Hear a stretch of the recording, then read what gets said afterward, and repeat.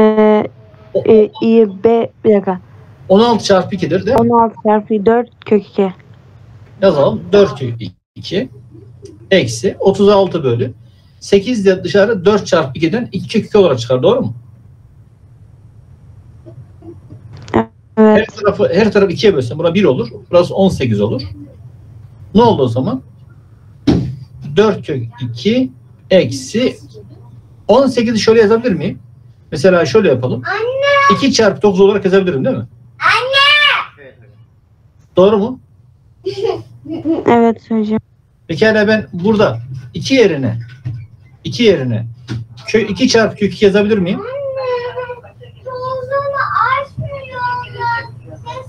Olur değil mi? O zaman kökler birbirini götürür. Olur. Ne oldu? 4 kök 2 eksi 2 kök Dokuz 2 kök çarpı 9. burada ne yapıyoruz? 4'ten eksi 9'u çıkarıyoruz değil mi? 4'ten eksi 3 çıkarsa eksi 5 olur. Eksi 5 kök 2 olarak bulunur. Eksi 5 Eksi 5 kök 2. Oldu mu? Evet. Şimdi şu örneğe bakalım. Bak şu e, 14. örneği yapalım. On, 14. örneği Alperen beraber yapalım. Şimdi Alperen ilk dikkat çeken şu şurayı yapabilirsin değil mi Alperen şurayı? 7'den bak bak bunu yaparken şöyle yapabilirsin Alperen. Mesela burada kök 5'ler ortak değil mi? Sen bunu kök 5 ortak parantezi alırsan bak kök 5 ortak parantezi alırsan ne yazarsın parantez içerisine? 7 eksi 8 yaparsın öyle değil mi? Şimdi bununla bunun çarpımı, bununla bunun çarpımı buraya verir. 7'den 8 çıktı ne olur? Eksi 1 olur. Eksi 1 çarpı kök 5 olur. Yani biz ne yapıyoruz? O zaman köklü sayılarda o zaman ne yapıyoruz? Sadece e, başındaki kas sayıları topluyoruz veya çıkarıyoruz. Bunu anlayabilir mi Atakan sen de?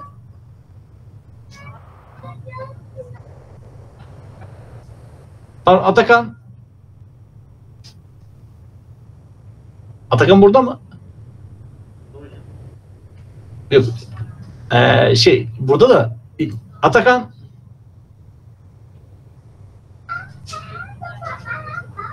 Atakan orada mısın?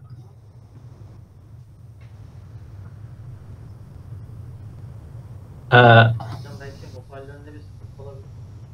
hoparlör de mi? Allah Allah. Şimdi yazar da mı? Açar mısın baba? He? Baba çoğuzunu açar mısın? Çoğuzunu açar mısın? Çoğuzunu açar mısın baba? Niye? O zaman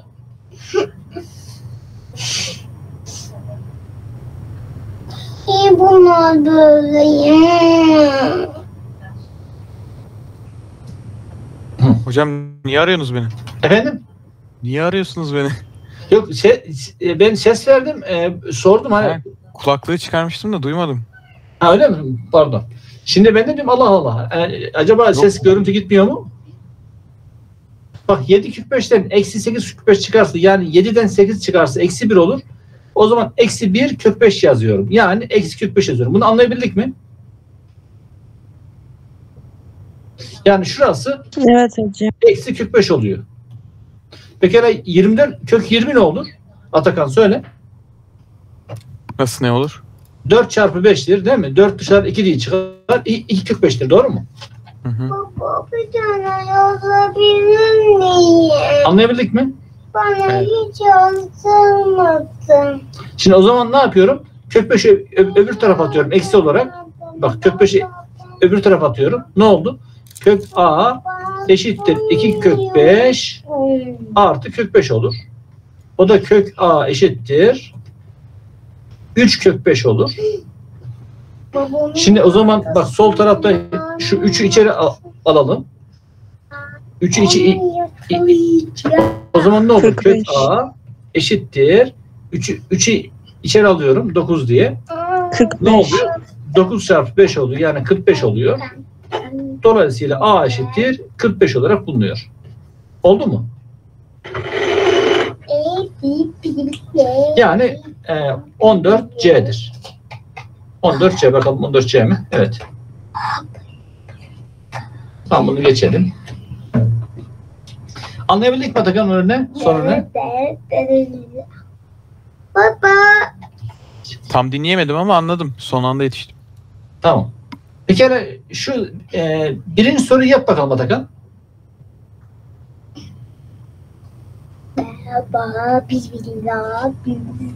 Evet birinci soruyu yap bakalım. Evet. Nasıl yapacağım? Güzel bir soru. Mesela şunların tabanları aynı değil mi? evet. O zaman sen buraya tabanlar eşitse çarpım durumunda üstler toplanıyordu. O da 81 üzeri 0,1 ile 0,15 topla. 0.16 mı? Yok yok yok 0,16 olmaz. Bak şöyle Atakan. Hani e, şöyle topluyorsun mesela 0,1 ile Baba. 0,15 topluyorsun. 025 mi oluyor? Evet şimdi bunu toplarken bak virgüller alt alta getiriyorsun. Virgüller alt alta getiriyorsun. Sonra buraya bir sıfır Baba ekliyorsun. Çünkü yapıyorsun? çünkü 0,1 ile 0,10 aynı şeydir. Topluyoruz bunları. O da 0,25 oluyor. Anladın mı Takan? Anladım. Aa, senin dediğin şöyle olursa olur. Mesela diyelim ki Baba 0,01 ile. 0,15 toplarsak Hmm. 0,16 olur. O zaman bu 10 16 olur. Ama bir doğrusu budur yani. Hmm. O zaman 81 üzeri 0.25 oldu. Çarpı 32 üzeri. O zaman eee Zeynep sen topla bakalım. 0.16 ile 0.04 topla bakalım. E, 20. Evet. Yani 0.20 0 yapıyor. 0.20 demek 0.2 a- aynı şey. Evet. Pekala. Ya. Pekala burada ben 81 yerine. Şey. Pekala ben burada 81 yerine E, 3 Seksen yerine- üzeri 4. nasıl yazmam gerek? Nasıl yazmam gerek 81 yerine? 3 üzeri 4 olur mu? Tamam 3 üzeri 4. 3 üzeri 4 yazıyorum. Ne yapıyorsun sen şimdi? 0.25 yazıyorum. Çarpı o- Tutun bana onu. o, 32 yerine ne yazayım?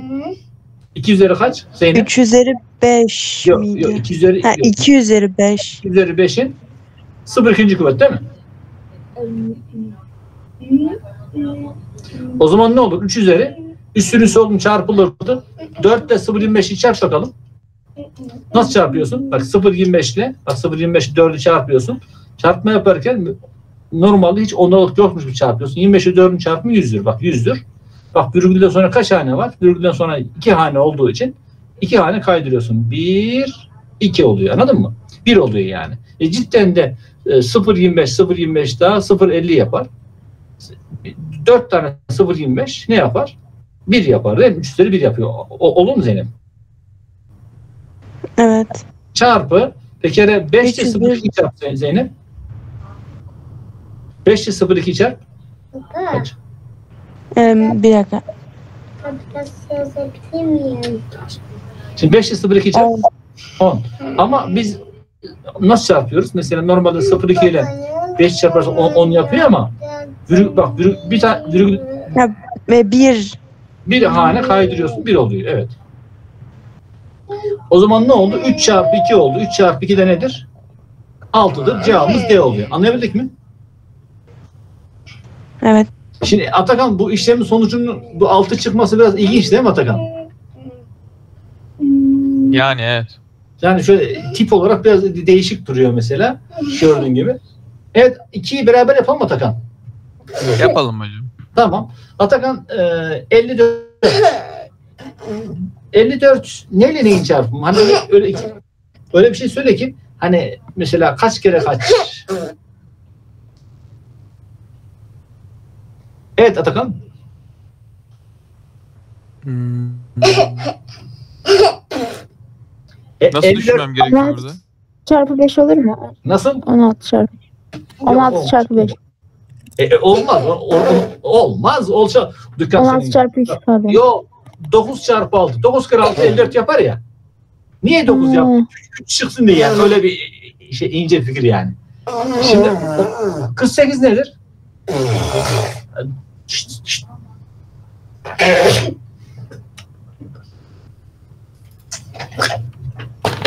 Evet.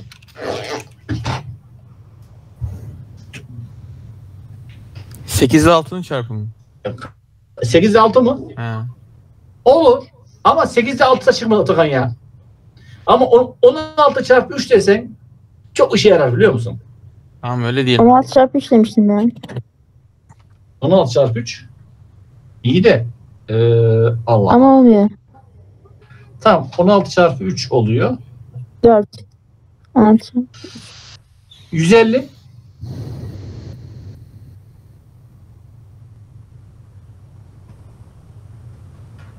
...25 çarpı kaçtır? Yirmi- kaç tane 25? 6 yapar değil mi? 12'de 5. 6 6 doğru. 6. 12'de 4 çarpı 3 yapar. Öyle değil mi? Evet. O zaman bakalım neler oldu bakalım. 9 dışarı 3 diye çıktı. Bir de orada 5 var. 3 kere 5 15. 15 kök 6 yazdım. Eksi. O- 16 dışarı 4 diye çıktı. Bir de orada 3 var. 3'ten 4'ün çarpımı 12. 12 kök 3 oldu. Doğru mu? Bölü 25 çarpı 6 var. 25 dışarı 5 diye çıktı. 5 kök 6 oldu. Eksi 4 dışarı 2 diye çıktı. 2 de orada var. 4 oldu. 2 kere 2 4 yapar. 4 kök 3 oldu. Bir kere ben yukarıyı hani şurada e, ne ortak mesela bu 15 demek 3 çarpı 5 demek öyle değil mi? Gördünüz mü? 12 demek 3 çarpı 4 demek. 3'lerin ortak olduğunu gördünüz mü yukarıda? Gördünüz mü 3'lerin ortak olduğunu? Evet. O zaman ben 3 ortak parantez alıyorum. Bu ne ya? 3 ortak parantez alıyorum. 5 kök 6 oluyor. Eksi 4 kök 3 oluyor. Bölü 5 kök 6 eksi 4 kök 3 oluyor pa- paydada. Şimdi burada dikkat edin. Ee, şunlar aynısı olduğu için bunlar birbirini götürüyor. 3 kalıyor. Cevabımız 3'tür. Cevap B oluyor. Anlayabildik mi? Atakan Evet hocam. Evet hocam anladım. Evet. Kaçıncı soruyu da bakalım. 2 C mi bakalım. 2 B demiş. Evet. Şimdi Atakan biraz önce sen e, bunu yapmıştın ama benzer soru. Bakalım o tutmuş mu? Onu şimdi sen yap bakalım bu örneği. Çünkü ilk sıra ne, ne olarak çıkıyordu Hat- hatırlıyor musun? Yani şu formülün şuydu. A kare neydi? A kare dışarı mutlak değer A olarak çıkar demiş. Hatırladın değil mi? Bu, şey bu Evet formülü. hatırladım. O zaman bu, bu ne olarak çıkar? Çıkar bunu. Bu mutlak değer x olur. Öyle, öyle değil mi? Evet. Pekala Atakan şu, bana şunu söyle. Eksi x'in karesi ile x'in karesi aynı şey mi? Değil.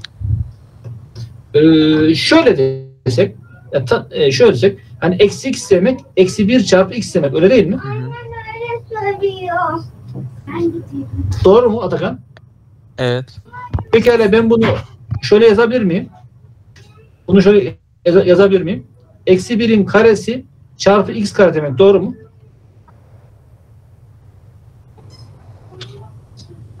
Doğru. Eksi 1'in karesi 1'dir. 1 çarpı x kare olur. Bir etkisiz elemandır. O da x kare olur. Gördüğün gibi. Yani yazabiliyoruz. Oldu mu? Anladım. O halde şunu söyle Atakan. Eksi 2'nin dördüncü kuvveti eşittir 2 üzeri 4'tür. Doğru mu yanlış mı? Doğru. Şunu söyle. Eksi 6'nın 18. kuvveti 6'nın 8. kuvvettir. Doğru mu? Değil. Neden? Çift kuvvet. Bak çift. Bu da çift. Bak ya çift yani. Çift oldu mu? Çünkü çift oldu mu çift oldu mu ne oluyor? Hocam Sen- 6 üzeri 18 olmayacak mı? Ha pardon. Evet doğru doğru 18 olacak. Evet haklısın Atakan ya. Ee, şu, şunu söyle. e, şunu söyle Atakan. Eksi 5'in karesi pardon küpü eksi 5'in küpü 5'in küpüne eşit. Doğru mu yanlış mı? Doğru. Hayır. Çift Niye? kuvvet oldu mu oluyor ama e- tek kuvvette ne olur? Bak eksi 5'in küpü ne olur? Eksi 5 demek unutma bunun eksi 1 çarpı 5 demektir. Eksi 5'i bu şekilde yazıyoruz. Sonra bunu buna eşit eksi 1'in küpü çarpı 5'in küpüne eşit. Bu da eksi 1 çarpı 5'in küpü oluyor. Yani eksi 5'in küpü oluyor. Oldu mu? Oldu. Yani şunu unutma. O zaman oradan şu sonucu söyleyebilirim Atakan. Bak A eksi B demek unutma bak. Eksi parantezinde B eksi A demektir. Ben şimdi bak A eksi B'nin karesi demek. O zaman sen şu şöyle yaz- ya- ya- yazabilirsin bunu. Eksi parantezinde B eksi A. Bak içini için ne yaptım? Bak A ile B'yi yer değiştirirsen başa eksi koyarsın. Bunu unutma. Oldu mu Atakan? Hı hı. Peki öyle şurada eksi, şurada ek- ek- eksi yok mu şurada eksi? O Evet. zaman bunu şöyle yazamaz mısın? Bu eksi 1 çarpı B eksi A'dır. Öyle değil mi? Hı hı. Bu da ne eşit olur? Eksi 1'in karesi çarpı B eksi A'nın karesi olur. Eksi 1'in karesi 1'dir. O da B eksi A'nın karesi olur. Sonuç olarak M eksi N'in karesi ne eşitmiş Atakan? Söyle. N eksi M'in karesine eşitmiş. Anladık mı? Anladım. Ama sen M eksi N'in küpünü alırsan ve bununla bunu yer değiştirirsen bu bunun eşit olmuyor. Birinden birini eksi getiriyorsun. Bu arada şu küp. Neden? Çünkü çünkü şurası küp oluyor. Küp de dışarı eksi olarak çıkıyor. Yani çift kuvvete dikkat et. O halde eksi 2'nin dördüncü kuvveti 2'nin dördüncü kuvvetine eşitken eksi 2'nin beşinci kuvveti eksi 1 çarpı 2 üzeri 5'e eşittir. Yani burada eksi kaybolmuyor tek kuvvette.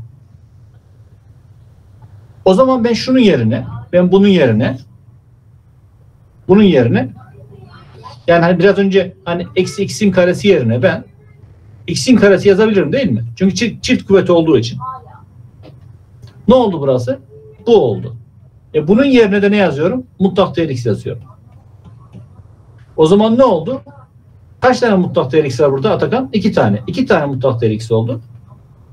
Bir kere x, x bak ne demiş burada? x sıfırdan küçük demiş bak. Verilerine sadık kalmak gerekiyor. x sıfırdan küçükmüş. X sıfırdan küçükse bu dışarı ne olarak çıkar? Bu dışarı eksi x olarak çıkar. Eksi 2, 2 ile çarpıyorum. O da ne olur? Eksi 2x olur. Bitti bu kadar. Oldu mu Atakan? Olmadı hocam. Ne- Neresi olmadı söyle. Hiç anlamadım. Hangisini? Komple soruyu anlamadım. Tamam o zaman e, sil baştan başlayalım.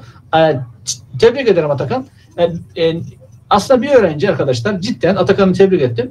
Hayır demesini bilmeli. Nietzsche'nin bir sözü var. Bir de, der ki Nietzsche bir sözünde e, kitabında mesela iki öğrenci düşman başına der. Bunlardan birisi hayır demesini bilmeyen, diğeri düşüncesini açık şekilde ifade etmeyen. Atakan hayır dedi ve tebrik ettim Atakan'ı. En azından hayır demesini biliyor. Şimdi Atakan şuradan başlayalım. E, x kare dışarı mutlak değer x olarak çıkar. Oldu mu? Tamam burası okey. Tamam. Pekala şunu anladık mı? Dur şunları e, komple silelim bir. Bak şunu komple bir silelim. Şimdi bu, burada sıkıntı yok. Pekala şunu anladık mı? Şunu biliyor muyuz? A eksi B demek başa eksi gelir B eksi A olur. Burada sıkıntı var mı? Yok. Tamam. Pekala. Eksi 2'nin karesi demek eksi 1 çarpı 2'nin karesi demek o da eksi 1'in karesi çarpı 2'nin karesi bu da 1 çarpı 2'nin karesi o da 2'nin karesi demek. Dolayısıyla eksi 2'nin karesi 2'nin karesine eşittir. Burada sıkıntı var mı? Evet burada sıkıntı var. Sıkıntı nerede? Nasıl ulaştık o 2 üzeri 2'ye? E şöyle sen eksi 2'yi eksi 2'yi eksi 1 çarpı 2 olarak yazabilir misin? Yazarım. Güzel. Peki şu kuralı biliyor musun? A çarpı B'nin karesini A kare çarpı B kare olarak yazdığını biliyor musun? Yok bunu bilmiyorum. He? Bunu bilmiyorum. Ha bunu öğren bak. Yani eee, diyelim ki A'nın karesi çarpı B'nin karesi demektir. Neden neden budur? Bak isim onu da ispatlayalım. O neden budur?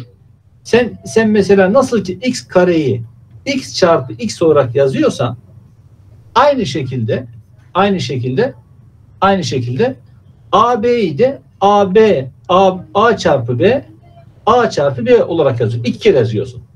Sonra Hı hı. ne yapıyorsun biliyor musun? Sonra çarpmada değişme özelliği uyguluyorsun. Yani yer değişimi. Yani A'ları bir tarafa topluyorsun. B'leri bir tarafa topluyorsun. Çarpmada mesela istediğin yeri yer değiştirebilirsin. Sonra bakıyorsun ki iki tane A var. A bu diyorsun A kareye eşitmiş. Bu da B kareye eşitmiş diyorsun. Sonuç olarak bunu gördüğün gibi böyle aşabilirsin. Oldu. Şimdi oldu mu? Oldu. Yani ne yapıyorsun sen burada? Eksi birin karesini alıyorsun. 2'nin karesini alıyorsun. Şu aşama oldu mu şurası? Oldu evet şimdi anladım. Eksi birin karesi 1'dir. 1 çarpı 2'nin karesi. E bir etkisiz eleman da 2'nin karesi olur. Oldu değil mi şimdi? Evet. O halde Hocam e, x Ben üzeri 2 ile eksi x üzeri 2 aynı şey değil mi? efendim? Hani e, diyor ya x üzeri 2 ve eksi x üzeri 2 aynı şey. Ha, evet evet. Yani evet. Yani tabii ki. E, şuradan mesela e, e, şunlar şu aynı şey evet. Çünkü çift kuvvet olduğu için çift kuvvet olduğu için bak burası çift kuvvet olduğu için çift kuvvet olduğu için çift kuvvet. Dolayısıyla e, yani sen bunu bu hale dönüştürebiliyorsun mesela bu özelliği kul- kullanıyorsun aynı şekilde ben burada o zaman şu özelliği kullandım eksi x yani eksi x kare yerine x kare yazdım şöyle yazdım oldu mu şimdi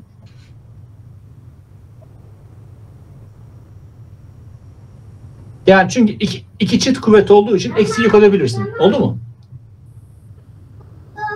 Aynı Evet. şurada şurada yaptığın gibi Atakan. Şuraya e- eksi x getirdiğini düşün. Bak e- x kare oldu gördün mü? Onun gibi. O zaman ne oluyor? O zaman ne oluyor? x kare artı x kare oluyor. O da ne oluyor? İki tane x kare oluyor. Oldu mu buraya kadar Atakan? Oldu. Sonra 2 çarpı mutlak değer x olarak yazıyorsun. Burada x sıfırdan küçük diyorsa bak x sıfırdan küçük diyorsa bu da dışarı 2 çarpı eksi x olarak çıkar. 2 ile eksi x'in çarpımı eksi 2x olur. Bitti. Bu kadar. Hmm. Şimdi oldu. Zaten soruda da söylemiş bizim sayı çıkan sonucumuz negatif olacak. Evet sonuç negatif olacak aynen. Kafadan 3 tane şık gidiyor. Aslında ben bir şey söyleyeyim bak. X sıfırdan küçükse bu, bu pozitiftir. Bak, bak şuraya yazıyorum. Bu, bu sayı pozitiftir. Bu sayı negatiftir. Bu sayı negatiftir. Bu sayı pozitiftir. Bu da sıfırdır. E zaten sıfır çıkması mümkün değil. Üç, üçü gider. Ya budur ya budur aslında. Ama hocam mutlak Hocam değerden neden eksi olarak çıkıyor? Efendim? Anlamadım. Şey, mutlak değerden nasıl eksi olarak çıkıyor ben orayı anlayamadım. Ha, mutlak değerden mi? Evet. Sıfırdan küçük diyor ya o yüzden. Yok yok. Şimdi bak şurası sıfırdan küçük diyor ya Merve bak. X, Tamam. X sıfırdan küçük diyor ya. O zaman aslında burada x'in içinde eksi var ama sen o eksiyi göremiyorsun. Çünkü x x mesela burada hem eksisiyle hem sayısıyla yani mesela x yerine eksi 5 getir mesela. Bunun gibi. Anladın mı? Sen nasıl ki eksi 5'in mutlak değerini ne yapıyorsun? Eksi 5'in mutlak değerini 5 olarak çıkarıyorsun. Bu işlemi nasıl Evet. yapıyorsun? Nasıl yapıyorsun? Eksi 5'in başına bak eksi 5'in başına eksi yazarak bunu sağlıyorsun. Çünkü eksi ile eksinin çarpımı yapar? Artı yapar. O da Artı, 5 olarak çıkıyor. Zaten mutlak, mutlak değerin tanımı şudur bak Merve. Mutlak değerin ta- tanımı şudur. Der ki mutlak değer bak tanımında. X sıfırdan küçükse der. X sıfırdan küçükse eksi x olarak çıkar der. X sıfırdan büyük eşitse x olarak çıkar der. Mutlak değerin tanımı budur. Mesela tanım budur yani. Ha, tamam. Tamam. Mesela Anladım. e, mesela diyelim ki eksi 5'in mutlak değeri eksi 5 sıfırdan küçük olduğu için başa eksi koyup çıkarıyorum. 5 oluyor. 5'in mutlak değeri 5 sıfırdan büyük olduğu için 5 olarak çıkıyor. Yani mutlak değer uzunluk demektir. Eksi 5'in de 5'in de orijinal olan uzaklığı 5 birim olduğu için 5 çıkmıştır. Yani hiçbir zaman bir şeyin mutlak değeri negatif olmaz yani. Yani mutlak değeri içine negatif sayı koyabilirsiniz ama o dışarı pozitif olarak çıkar. Tamam. Şimdi örneklere devam edelim. Dördüncü örneğe e, Zeynep yap, bak, yap bakalım. Tamam. Kısaltılmış hali hangisidir? Ee, Bu nedir? A üzeri A üzeri 2 bölü e, 3 değil mi? A üzeri Bak bu üçüncü derece. ama e, diğerini de üçüncü dereceden yapacağız değil mi? Beş bak, ya da. bak, şöyle bir şey. Bak kö- kök mesela eninci, eninci dereceden A üzeri M, bak A üzeri M'i biz A üssü M bölü N olarak yaparız. Ör- örnek olarak vereyim. Dördüncü dereceden 5 üzeri 9 demek Hı hı. 5 üssü 9 bölü 4 demektir.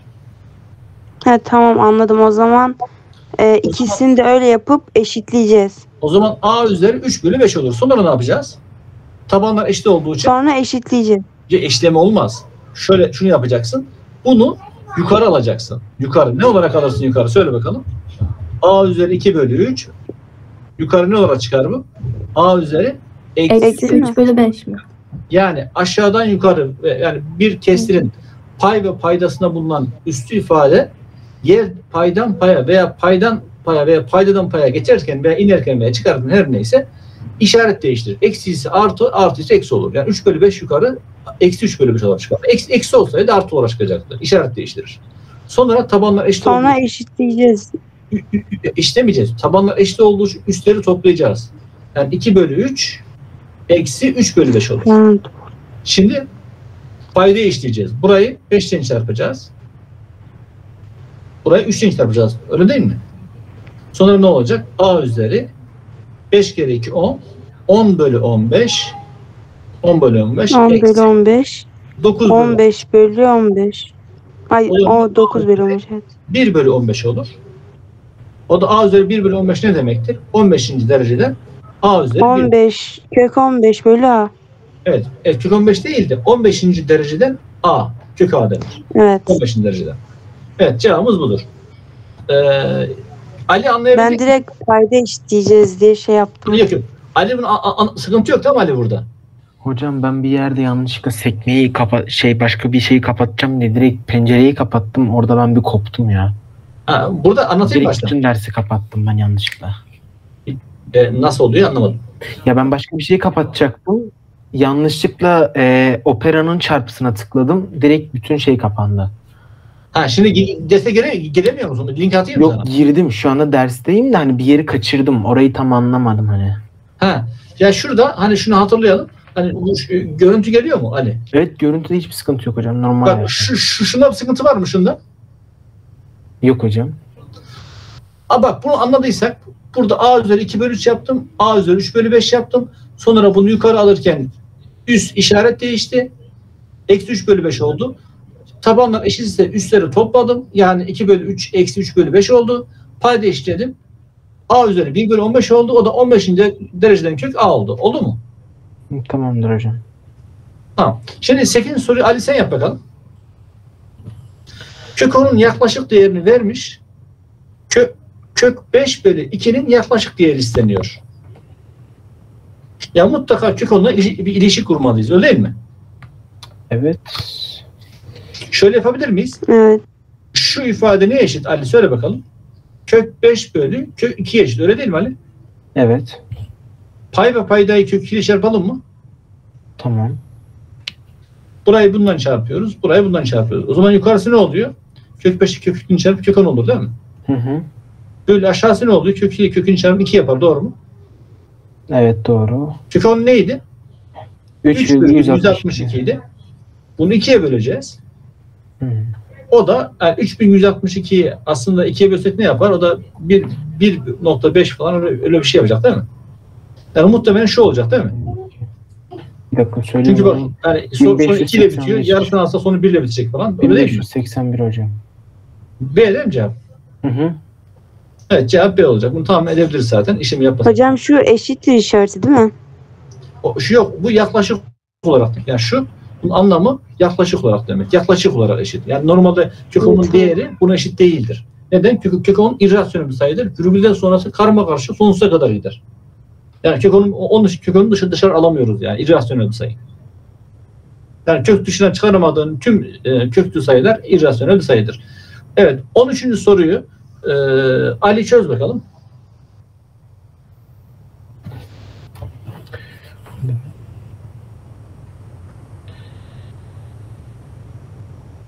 Kök 5 kök 5. Bu şu şuraya bir şuraya bir şey yapman gerekiyor Ali. Buraya bir operasyon yapacaksın. Hadi yap bakalım Ali. Mesela şöyle yapsak olur mu?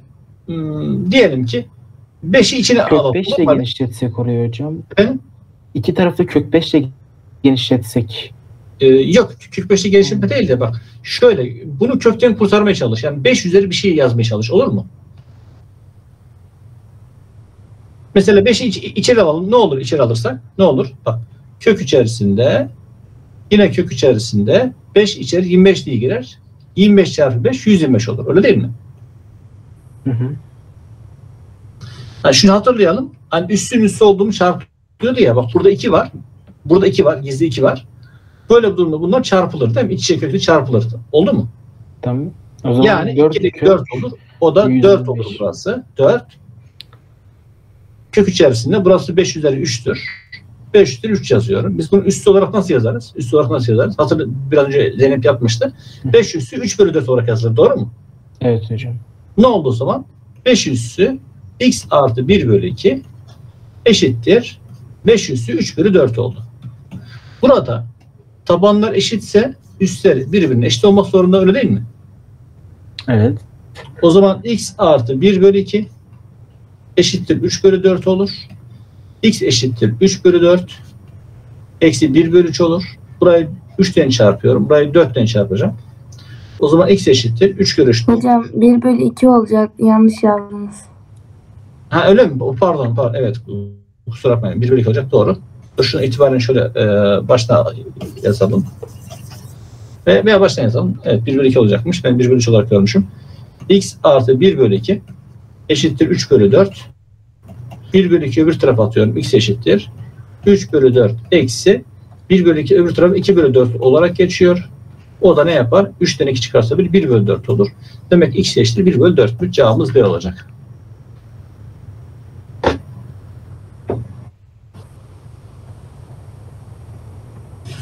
Şimdi o 14'ü yapalım. Ee, 14'ü e, Fatma nasıl yaparsın?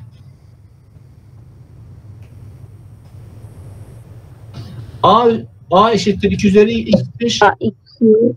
Şimdi burada 216 üzeri x diyor.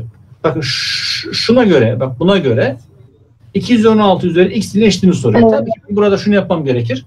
216 bir çarpanlara ayıralım. İşler, işler aynı. İşleri aynıymış. Tamam 216 Yüksek. çarpanlara ayıralım. Çarpanlara ayıralım. ay- ayıralım. 216 2'ye böl 108. 2'ye bölersek 108, 2'ye böl 54. 102, Yok pardon 51 mi yapıyor? Bir dakika. Pardon, 54 değil.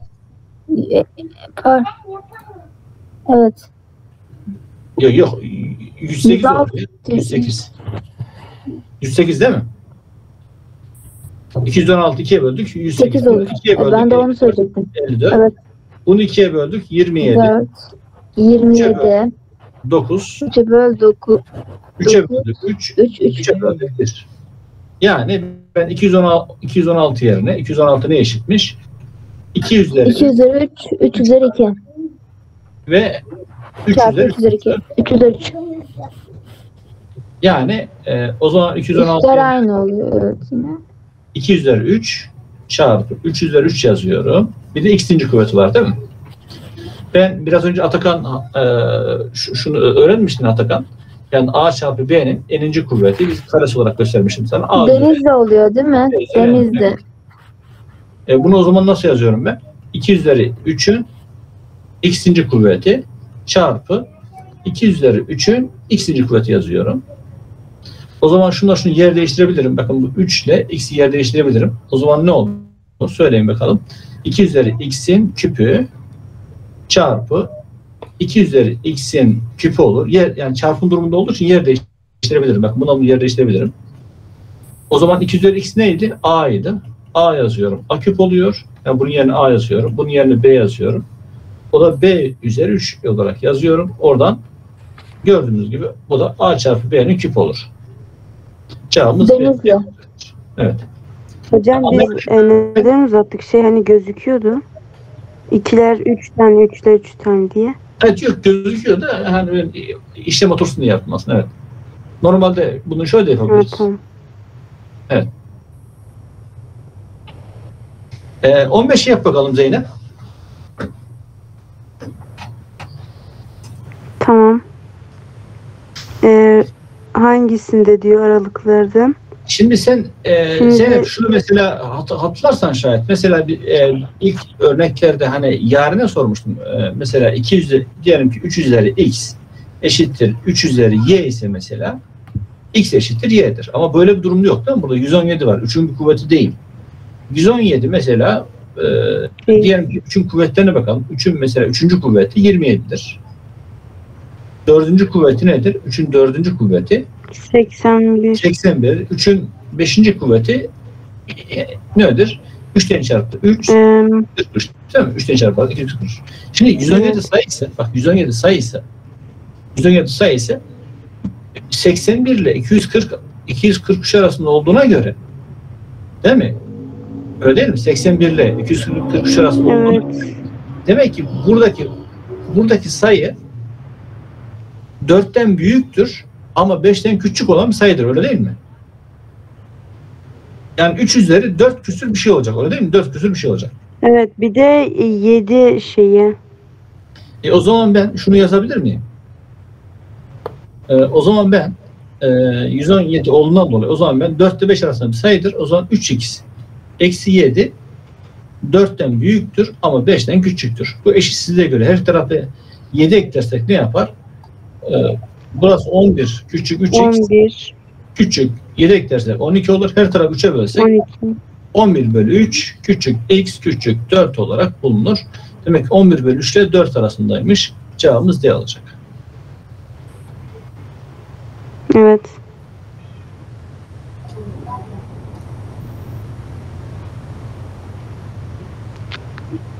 Tamam.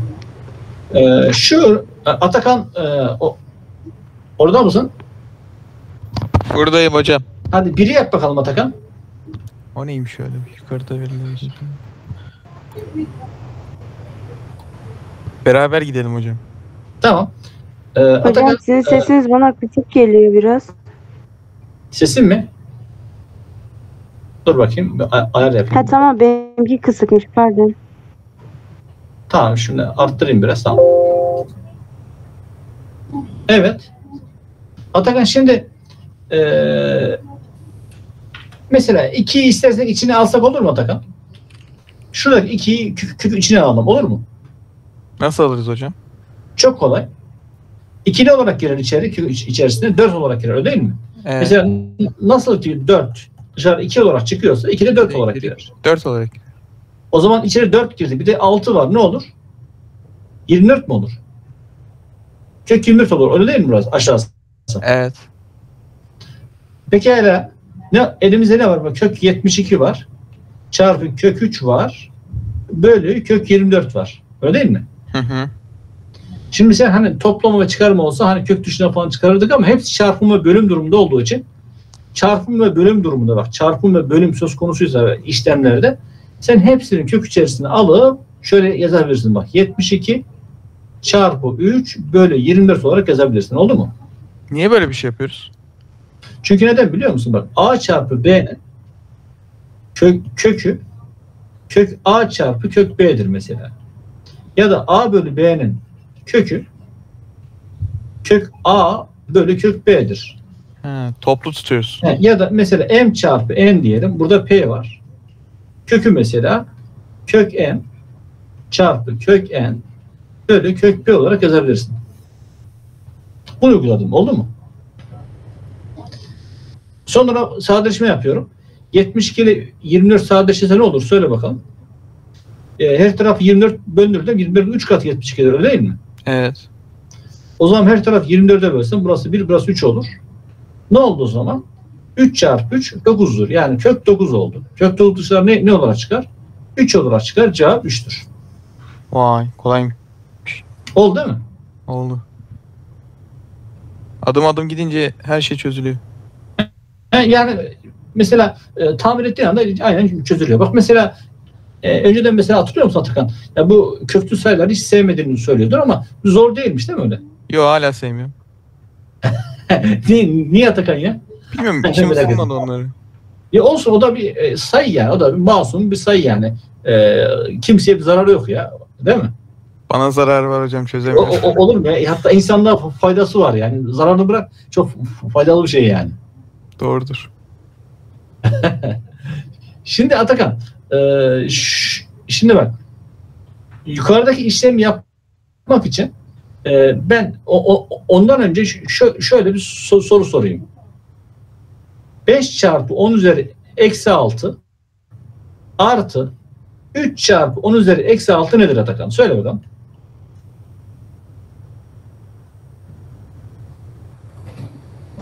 Bak burada 5 tane 10 üzeri eksi 6 var. Hı hı. 3 tane 10 üzeri eksi 6 var. Ne olur Atakan? Ne oldu? 8 çarpı 10 üzeri eksi 6 olur. Öyle değil mi? Evet. Bir sorun yok değil mi? Sanki 5A artı 3A eşittir 8A diyorsun. Bunun gibi. Evet. Ya da 5 kök 3 artı 3 kök 3 ne yazıyorsun mesela? Katsayıda topluyorsun. 8 kök 3 diyorsun. Bunun gibi. Evet. Ama şimdi bunu bunu anladık siliyorum. Bu, bu kısım oldu değil mi? Şimdi şunun üzerine duralım. Mesela 5 çarpı 10 üzeri eksi, eksi 6 eşittir. Ben buraya 10 üzeri eksi 5 yapsam buraya ne yazacağım? Kim söyleyecek? Pardon 10 üzeri eksi 5 yapsam. Buraya ne yazacağım? Evet Ali buraya ne yazmam gerek hadi söyle bakalım. 50. Ha, evet burada ne yaptım? Bak eksi, eksi 6 idi. Buraya eksi 5 yaptım. Yani burayı ne yaptım? Aslında ben burayı büyüttüm. İşte eksi 6'ya 1 ekledim. Büyüttüm. Bunu bir adım büyütürseniz bunu Aa küçülteceğiz pardon. burası 0.5 olacak. Oldu mu? Yani bu buna eşittir aslında. Şimdi bak şimdi bunu bu iki durumu göz önüne alarak bu iki durumu göz önüne alarak Atakan burada mesela bak o- burada 10 üzeri eksi 5 var. Gördün mü Atakan bak? Evet gördüm. 10 üzeri eksi, burada 10 üzeri eksi 4 var. Birinden birini ya 10 üzeri eksi 4 yapacağım ya 10 üzeri eksi 5 yapacağım. Örneğin şu 10 üzeri eksi 5 yerine 10 üzeri eksi 4 yapsam yani e- eksi 5'ten eksi 4'e geçiş yaparken ne yaptım? Büyüttüm mü küçülttüm mü? Büyüttüm. Yani eksi 5. kattan eksi 4. 4. kata çıktı. Yukarı çıktı. Arttı değil mi burası? Evet. Burası arttıysa burayı küçülteceksin. Bir kademe küçüleceksin. Yani virgülü kaydıracaksın. Bak bir, bir kaydırıyorsun. O zaman ne oluyor? 4,2 oluyor. Bunu anlayabildik mi? Evet. Sonra bak sonra artı 3,9 çarpı 10 üzeri pardon 3,9 çarpı 10 üzeri eksi 4'ü e, çarpıyorum. Ben şimdi hep aslında e, bana bir hep e, mesela bir Türkiye'de virgül kullanılıyor ama benim alışık olduğum sistemimizde virgül değil nokta vardır yani. O, o biraz bazen karıştırıyorum. E, 0,009 var mesela burada, burada. Bakın şimdi burada 10 üzeri eksi 4 var. Burada 10 üzeri eksi 4 var. Ortak artık. Ortak olduğu için ne yaparsanız biraz önce yaptık Atakan. Bundan bunu ne yapıyorum? Topluyorum. Evet. 3,9. 4,2 tane yapar. Toplarken biz na- nasıl topluyoruz? Virgülleri alt alta getiriyoruz. 4,2. 3,9'u alt alta getiriyorum. 9, 2 daha 11 olur. Elde var 1. Virgül olduğu yere geldi. Virgül atıyorum. 4, 3 tane bir yerde 8, 8,1 yazıyorum. Ne oldu? 8,1 çarpı 10 üzeri eksi 4 oldu. Böyle bunu da bunu da bunu da e, virgülden kurtaralım. Burada normalde ne var? Burada ne var? 10 üzeri 0 var. 10 üzeri 0 demek 1 demek. Bak bunu hayal edin 10 üzeri 0 var. Bak ne kadar büyüttüm? 1, 2, 3. 3 basamak büyüttüm. Buraya 9 yazıyorum. Ç- çarpı buraya da ne yazıyorum mesela 10 üzeri. Bunu büyüttüğüme göre burayı küçültmem gerekir. Yani 3 çıkaracağım. Eksi 3 yazıyorum. 9 çarpı 10 üzeri eksi 3 eşit. Tabii ki ben burada e, isterseniz 8,1 bulmuştum. E, bunu da 81 yapalım. Bak 81 yaptım. Bunu büyüttüysem bunu küçülteceğim. 10 üzeri eksi küçültmek demek. Eksi 4'ten 1 çıkarsam eksi 5 olur. Bölü 9 çarpı 10 üzeri eksi 3. Burada tabii ki her iki taraf 9'a bölünürse burası 1 olur. 9'a bölsem burası 9 olur. O zaman ne oldu? 9 çarpı 10 üzeri eksi 5 eksi, eksi 3 yukarı 10 üzeri artı 3 olarak çıkar. 9 çarpı 10 üzeri e, çarpım durumunda üstler toplanır. Eksi 5 artı 3 daha eksi 2 olur. Yani 9 çarpı 10 üzeri eksi 2. Bu ne yapar? E, bunu onlarla çevirecek olursa bakın 10 üzeri eksi 2 unutmayın. E, bu yani 09. dönüştürüyorum. Yani bunu e, bunu ne yaptım? E, 0 virgül bir şey yapacağım. 0 virgül 09 eşittir. Zaten şunu hatırlayın bak e, veyahut da hani e, ondalık çözümleme yaparken mesela hatırlayın 0,09 ne yapıyorduk mesela? E, hatırlayın. Burası eksi birler basamağı. Burası eksi ikiler basamağıydı. Yani burası 10 üzeri eksi 2 yazıyoruz. Eksi 2 derken burası 10 üzeri eksi 1 basamağı. 10'da birler basamağı. 10 üzeri eksi 2 yüzde birler basamağı. Biz yazarken nasıl yazıyoruz? 9 çarpı 10 üzeri eksi 2 olarak yazıyoruz. Şimdi bu e, dolayısıyla ne oldu? 0,09 olarak. Bunun, da cevabımız 2E olmuş oluyor. Evet 2E. Şimdi şuna bakalım. Ee, benzer bir örnek Atakan. Hadi bir örnek sen yap bakalım Atakan. Yok hocam ben yapmayayım. Peki ne yapıyordun? Bak, ha, bölüm ve çarpım durumunda ne yapıyordun bunları? Ne yapıyordun? Aynı kökü alabiliyordun. Hatırladın mı Atakan? Evet. Aynısı. Aynı. Al bakalım aynı kökü. Buraya 5 yapıyorsun. Buraya 6 yapıyorsun. Böyle 15 çarpı 30 gidiyorsun. Oldu mu buraya kadar? Oldu. Sonra şunu yapıyorsun. Bak her taraf 5'e böl. Burası 1 oluyor. 15'i 5'e böl. Burası 3 oluyor. 6 ile 3 sadeleştir. Burası 1 oluyor. Burası 2 oluyor. Sonra yine sadeleştirelim. Her tarafı 2'ye bölelim. Burası 1 oluyor. Burası 16 oluyor. O zaman ne oldu? 1 bölü 16 oldu kök içerisinde. E şimdi ne yapacağız? Ee, şi- şimdi bu ne işte? Kök 1 bölü. 1 kök bölü 16 4 hocam. eşittir. O da kök 1, 1 diye çıkar. 16 4 çıkar. Cevap 1 bölü 4. Cevap B'dir. Helal olsun. Oldu mi? Oldu. Şimdi 14'ü yapalım. Ee, evet Ali. Ee, o, bakalım Ee, bir önceki soruya benzer bir soru Ali. Ee, biraz önce yapmıştın. Evet. Buradaki sen yap bakalım Ali. Biz şunu biliyoruz değil mi Ali? Bu 5 üzeri x çarpı 5 demek. Öyle değil mi Ali? Evet. Bu da 5 üzeri x çarpı 5'in karesi demek. Bunu parçalıyorum. Bakın bunu parçaladık. Ne oldu o zaman? Ali ne oldu? Bak. Ne oldu? 1 bölü 5 üzeri x. Bak gördük mü? Artı 1 bölü 5 üzeri x çarpı 5 oldu. Artı eksi 4 bölü 5 üzeri x çarpı 5'in karesi 25 oldu. Burada 5, 1 bölü 5 üzeri x orta parantez alıyorum. Bak 1 bölü 5 üzeri x orta parantez alıyorum. Ne oluyor? Burası 1 kendisi. Artı bununla bunun çarpımı burayı vermesi için bak burayı vermesi için zaten yani 1 bölü 5 üzeri x demek biliyorsun. 1 bölü 5 üzeri x çarpı 1 bölü 5 demek. 1 bölü 5 yazıyorum. Benzer şekilde burada 4 bölü 25 yazıyorum. Eşittir. 155'miş. Bölü 1 diyorum. Burada biz burayı 25'ten çarpıyorum. Burayı 5'ten çarpıyorum. Burayı 1'den çarpıyorum. O zaman ne oluyor? Ee, 1 bölü 5 üzeri x. Bakın burayı yukarısı 25 oluyor. Yukarısı 5 oluyor. Eksi 4, 1'den çarpın. Eksi 4 oluyor. Bölü 25. O da 155. Şimdi yan tarafa yazıyorum. 1 bölü 5 üzeri x. 25 5 de 30 olur. 30'dan 4 çıkarsa 26 olur. 26 bölü 25 eşittir 155 olur. Şimdi mutlaka eee 26 ile 155 bir sadeleşme durumunda burada. Eee 155 13'e bölünür mü? Evet. Kaç oluyor? 155 mi? 155 o- o- o- 13'e Bölünmüyor hocam. efendim? 155 3'e bölünmez. Yok 13'e 13'e. Yani bur- burası 13 13'e çarpı pardon. 2 yapıyor ya 13'e bölünüyor mu? 13'e de O da bölünmüyor bölünmüyor herhalde. hocam. Hmm. O zaman burada bir işlem hatası var arkadaşlar. Evet bir hata var yani burada. Ama en azından öyle kalsın. Ee, 15'e Atakan yap bakalım.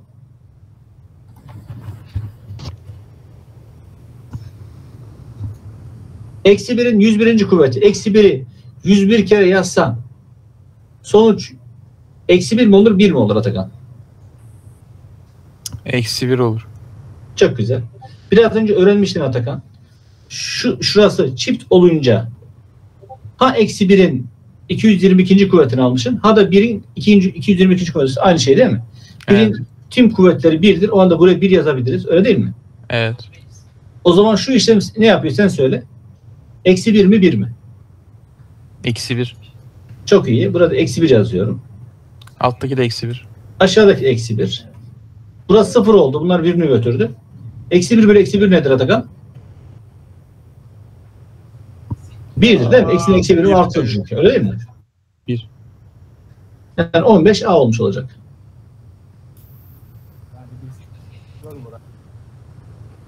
Tamam.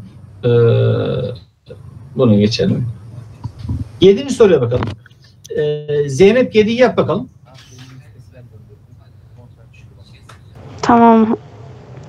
Ee, norm bir dakika. Şimdi o ilk başta bunları Şöyle diyeyim bak bir ipucu vereyim. ya da yok. ee, şimdi ilk Şimdi bunları Şimdi bir bilgiyi hatırlatayım bak. 0 faktöriyel 1'di.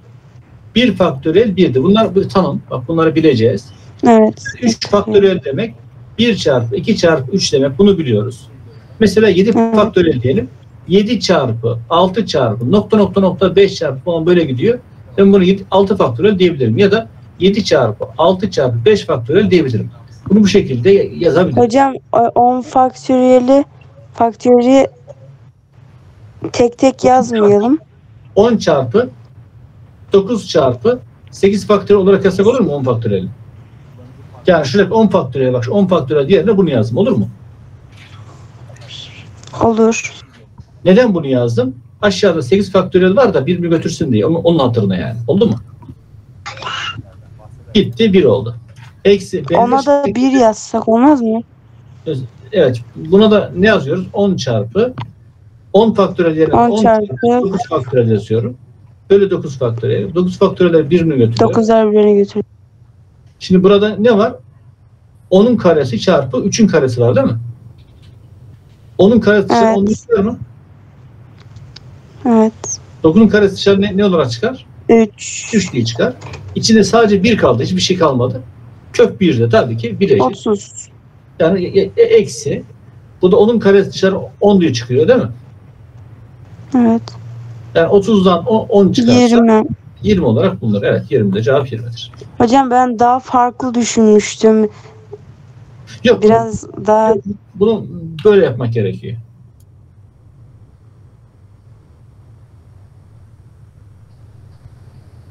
Tamam.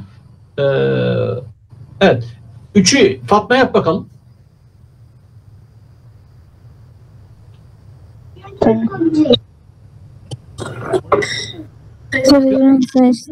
Var mı? Değildir. 9 9.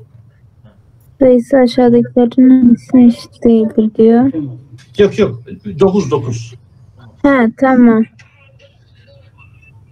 Ee, bir, iki, üç, üçüncü dereceden 1 0 0 0 8 kök için almış. 0 0 8 e, 0 4 diye çıkar. Hayır. 1 bölü 0 4 diye çıkıyor sanırsam. Bak şunu şunu söyleyeyim. Bak şunu söyleyeyim. Ee, şayet şu ifadenin bak şu ifadenin ha, üçüncü 0 2 derecede. pardon 1 bölü 0 bir 2 1 bir bölü bölü 0 2 gibi bir şey çıkıyor. küp olduğunu görebildin mi? Evet çoktan 1 bölü 0 2 çıkıyor. Bu buna eşittir. Bir şeyde. 3 olduğu için bunlar birini götürüyor. 3 bölü 3 1 oluyor. Bu da 1 bölü Eşittir, 0.2 oluyor. Pay ve paydayı 10 ile çarparsak 10 bölü 2'den 5 olarak bulunur. Bunu bu şekilde görürsen. Ha, Evet. şayet, şayet göremezsen mesela diyelim ki şöyle yapmak istedin. O, o, ola ki şöyle yapmak istedin. Bak, siliyorum. Dedin ki ben dedin virgülü mesela öyle de yapabilirsin. Ben dedim mesela şu virgülü kurtarmak istiyorum. Pay ve paydayı 10, 100, 1000. Yani çünkü virgül 10, 100, 1000 pay ve paydayı gördüğün gibi 1000 ile çarpıyorum. Yukarısı ne oluyor? Yukarısı 1000 oluyor.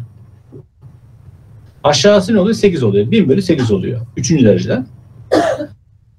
Sonra bunu üçüncü dereceden 10 de, 1000 demek 10 üzeri 3 demektir. Bak 10 üzeri 3 demektir. Böyle üçüncü derecede 8 demek 8'den 2 üzeri 3 yazabilirsin. Tabii ki burada o 3 bölü 3 1 oluyor. Burası 10 oluyor. Bu da 3 bölü 3 e, 1 oluyor. Yani 2 üzeri 1, 2 üzeri 1 2'dir. O da 5 olarak bu şekilde çıkarabilirsin. Yani şayet o şekilde göremezsin. Oldu mu? Anne, anne birlikte kalalım gel. Ben namaz Şimdi şuna bakalım. Ben de direkt Hocam, bitirelim mi artık? diyecektim. Efendim? Bitirelim mi artık? Ha, e, e, e, e, herhalde bu yeter, yeterli değil mi? Tamam. Ee, yeni şeye geçmeyelim o zaman. Bitirelim. Pekala bugün e, arkadaşlar e, üstü köklüye alakalı örnekler çözdük ama biraz anlayabildik mi şöyle biraz? Ee, yani daha önce çünkü üstü köklü çözmemiştik. Yine diğer derslerde yine bir devam ederiz yani üstü köklüye. Evet hocam. Olur hocam. önemli bir konu ama e, siz de hani e, mutlaka çalışın şey yapın hani üstü köklü. E, bir, bir şey dikkat ettin mi Atakan? Soruları çözdükçe, aşinalık kazandıkça, öğrendikçe e, olay kolaylaşıyor değil mi Atakan? Evet. Yani üzerine gidersen e, kolaylaşır yani. Ama Bakalım, cidden gidiyoruz üstü hocam, konusu, gidiyoruz. konusu önemli bir konu. Hani cidden bilinmesi gereken bir konu. Yani cidden kullanılan bir konu. E Şimdi e, şu Ben var hani, ee, yok ama se- se- sevsen iyi olur. Hani yani artık e, e, yani öyle bir şey bir konu değil Atakan ya. Yani ama temel bir konu yani. Evet. Yani bu konunun mesela çok konuyla bağlantısı var ve çok yerde kullanıyorsun. Yani bu burada mesela hani soğukluk olup hani böyle konuya ağırlık ver, vermezsen hani sevmiyorum aman diyeyim bırakma. Çünkü e, bu konu e, çok pek çok konunun altyapısını oluşturuyor. Yani o pek çok konunun altyapısında e, zayıf adam etmen olursa hani düzeltmezsen o zaman bir sıkıntı olur yani. Evet hocam. E, oldu. E, hepinize iyi akşamlar. E, görüşmek üzere. İyi akşamlar hocam. Allah'a emanet olun. İyi geceler. Görüşmek üzere.